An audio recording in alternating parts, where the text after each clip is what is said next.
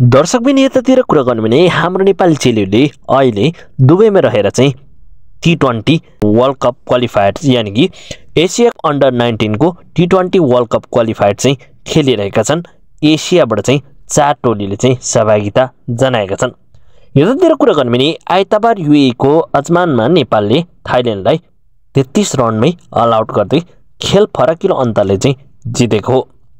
चौथो खेलमा तेस्रो जित निकाल्ने क्रममा नेपालले थाइल्यान्डलाई एक सय छ रनले हराएको छ। योसँग कुरा गर्नु भने थाइल्यान्डलाई अघिल्लो खेलमा भने तेत्तिस रनले पराजित गरेको थियो भने योपल्ट भने थाइल्यान्डलाई एक सय छ रनले चाहिँ पराजित गरेको योसँगै कुरा गर्नु भने नेपालको चाहिँ ब्याक टु ब्याक रेकर्ड भएको छ। नेपालले दिएको एक सय चालिस रनको लक्ष्यलाई पछ्याएको थाइल्यान्डले सोह्र ओभरमा तेत्तिस रन जोड्दै अल आउट भयो। नेपालको उत्कृष्ट बलिङको कारण थाइल्यान्डका कुनै पनि ब्याटरले दोहोरो अङ्कमा रन जोड्न सकेनन्। थाइल्यान्डका छ ब्याटरले रनको खाता समेत खोल्न सकेन। नेपालका लागि कुसुम गोदरले तिन रिया शर्मा रचना चौधरीले समान दुई तथा कप्तान पूजा महतोले एक विकेट लिइन्। यसअघि युएको आजमनमा रहेको सेभेन्स क्रिकेट मैदानमा नेपालले टस जितेर ब्याटिङ रोजेकोमा निर्धारित बिस ओभरमा भने नौ विकेट गुमाएर एक सय उन्चालिस रन बनाएको थियो। नेपालका लागि ओपनर साना पर्बिनले छ्यालिस बलमा सात चौकाको सहयोगमा सर्वाधिक त्रिपन्न रन जोडिन्। सानाले नेपालका लागि प्रतियोगितामा पहिलोपटक अर्धशतक बनाएका हुन्।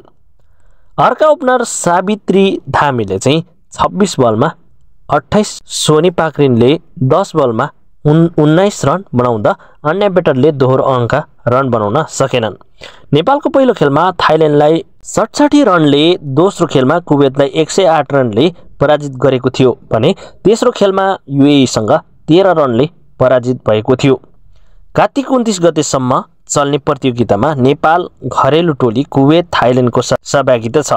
नेपालको पाँचौँ खेलमा कार्तिक सत्ताइस गते कुवेतसँग खेल्नेछ। नेपालको अन्तिम खेल कार्तिक अठाइस अठाइस गते भने युएसँग खेल्नेछ। डबल राउन्ड रोबिनका आधारमा जारी प्रतियोगिताको शीर्ष टोली विश्वकपका लागि चाहिँ छनौट हुनेछ। विश्वकप अर्को वर्ष मलेसियामा आयोजन हुनेछ। अब यतातिर कुरा गर्नु भने नेपाल र युए चाहिँ धेरै सम्भावना बोकेको टिम हो जुन चाहिँ शीर्ष स्थानको लागि चाहिँ अहिले लडिरहेको छ। पोइन्ट टेबलको कुरा गर्नु भने युए अहिले पहिलो नम्बरमा छ किनभने नेपाल चाहिँ युएसँग तेह्र रनले पराजित भएको थियो। जसको कारणले गर्दा चाहिँ युए चाहिँ शीर्ष स्थानमा रहँदै विश्वकप खेल्ने सम्भावना छ भने नेपालले पनि यो अहिलेसम्म सम्भावना चाहिँ गुमाइसकेको छैन। किनभने नेपालको अब दुई खेल छ जहाँनिर चाहिँ युए र कुवेतसँग खेल्नेछ।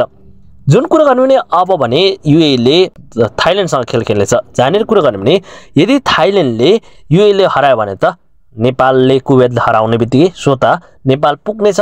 टी ट्वेन्टी वर्ल्ड कपको लागि चाहिँ क्वालिफाई हुनेछ। तर पनि यो चाहिँ सम्भव छैन किनभने युएले थाइल्यान्डलाई सजिलैसँग हराउनेछ। किनभने नेपाललाई चाहिँ युएले सजिलैसँग हराउन सक्छ भने युएले थाइल्यान्डलाई सजिलैसँग हराउन सक्छ। यो चाहिँ थाइल्यान्डले युएले हराउनु भनेको चाहिँ एउटा सोच्ने कुरा मात्रै हो।